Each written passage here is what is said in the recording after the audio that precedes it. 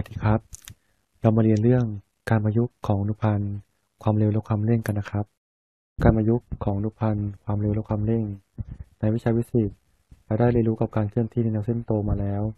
ทราบนิยามมาว่าการเคลื่อนที่วัตถุเส้นตรงจะหมายถึงการเคลื่อนที่ในแนวดิ่งหรือแนวราบนั่นเอง การเคลื่อนที่ของวัตถุในรูปของฟังก์ชันของเวลา โดยที่ s แทนระยะทางเขียนแทนด้วย s เท่ากับ ft เรียกสมการนี้ว่าสมการการเคลื่อนที่ของวัตถุ ความสัมพันธ์ระหว่าง s และ t ในการเคลื่อนที่แนวตรง พิจารณาการเคลื่อนที่ด้วยการกำหนดสมการ s เท่ากับ t กำลังสองลบ 6t บวก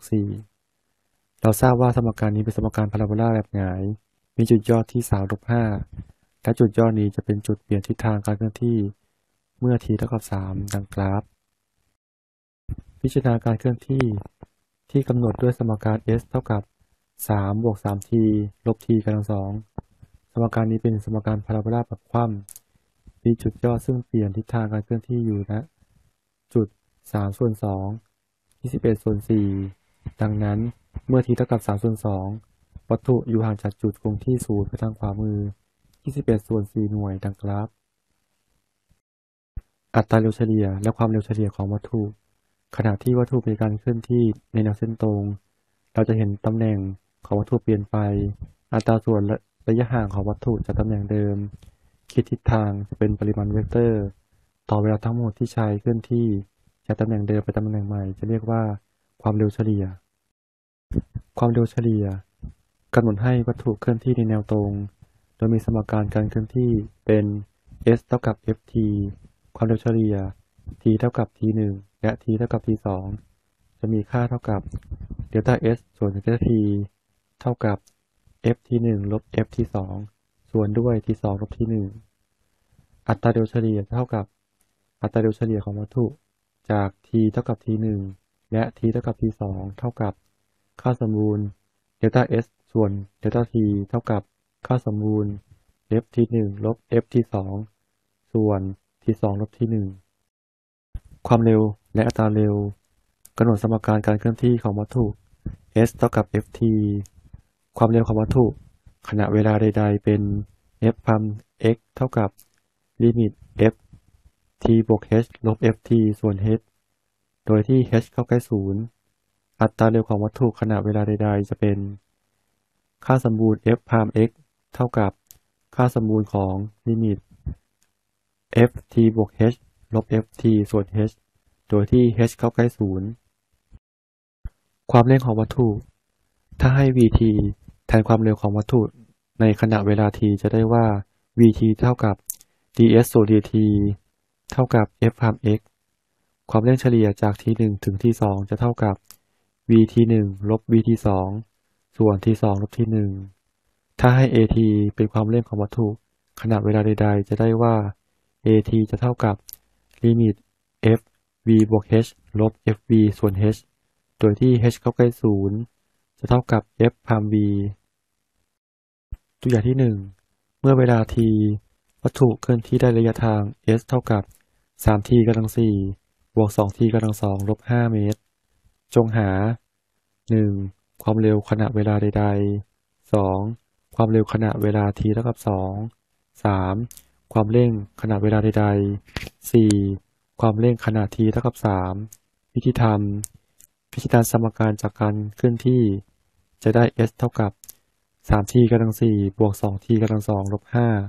5 ข้อ 1 หาความเร็วจากสมการอนุพันธ์จะได้ s พามเท่ากับ v เท่ากับ 12t กำลัง 3 บวก 4t ข้อ 2 แทน t เท่ากับ 2 ลงไปในสมการความเร็ว จะได้ v เท่ากับ 104 ข้อ 3 หาความเร่งจากสมการอนุพันธ์จะได้ v พามเท่ากับ a เท่ากับ 36t กำลัง2บวก4ข้อ 4 แทนค่า t เท่ากับ 3 ในสมการความเร่ง จะได้ a เท่ากับ 328 เมตรต่อวินาทีกำลัง2ตัวอย่างที่ 2 เมื่อปล่อยวัตถุที่สูงลงลงสู่พื้นดิน วัตถุเคลื่อนที่ได้ระยะทาง s เท่ากับ 16t กำลัง2เมตร ในเวลา t วินาที จงหา 1. ระยะทางที่วัตถุเคลื่อนที่ไปหลังจากปล่อยไป 3 วินาที 2. ความเร็วขณะเวลา t เท่ากับ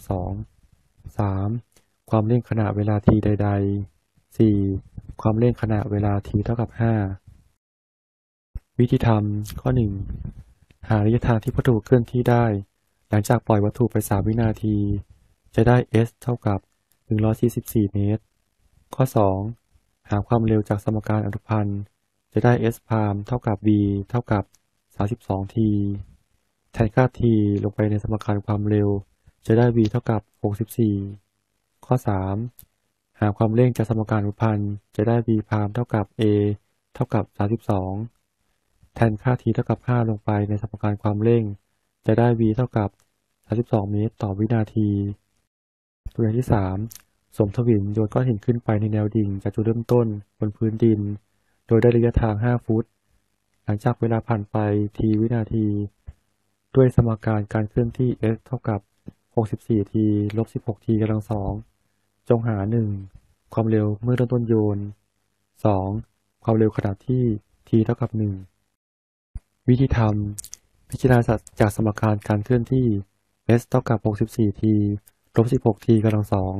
ข้อ 1 หาความเร็วจากสมการอนุพันธ์ จะได้ s พามเท่ากับ v เท่ากับ 64 ลบ 32 t เมื่อความเร็วเริ่มต้นโยน แสดงว่าเป็นเวลาวินาทีที่ศูนย์เมื่อแทน t เท่ากับศูนย์ลงไปในสมการความเร็ว จะได้ v เท่ากับ 64 ฟุตต่อวินาที 2. ความเร็วขณะที่เวลา t เท่ากับ 1 แทนค่า t เท่ากับ 1 ในสมการความเร็ว จะได้ v เท่ากับ 32 ฟุตต่อวินาที ตัวอย่างที่ 4 ถ้าโยนก้อนหินขึ้นไปในแนวดิ่งจากจุดคงที่บนพื้นดินได้ระยะทาง s จากจุดคงที่ในเวลา t ตามสมการ s เท่ากับ 35 t ลบ 49 t กำลังสองส่วน 10 จงหา 1. ความเร็วเมื่อเริ่มต้นโยนก้อนหิน 2. เวลาและระยะทางที่ก้อนหินเคลื่อนที่ไปสูงสุด วิธีทำพิจารณาจากสมการการเคลื่อนที่ s เท่ากับ 35 t ลบ 49 t กำลังสองส่วน10 ข้อ 1 หาความเร็วจากการหารูปพันธ์จะได้ s พามเท่ากับ v เท่ากับ 35 ลบ 49 t ส่วน 5 เมื่อความเร็วเริ่มต้นโยน แสดงว่าเป็นวินาทีที่ศูนย์แทนที่เท่ากับศูนย์ลงในสมการความเร็ว จะได้ v เท่ากับ 35 ฟุตต่อวินาที ข้อ 2 เนื่องจากก้อนหินขึ้นไปสูงสุด แสดงว่า ds ส่วน dt เท่ากับ 0 จะได้ความเร็ว v เท่ากับ 0 และแทนค่า v เท่ากับ 0 ลงในสมการความเร็ว จะได้ 0 เท่ากับ 35 ลบ 49 ส่วน 5t ดังนั้น t เท่ากับ 25 ส่วน 7 วินาที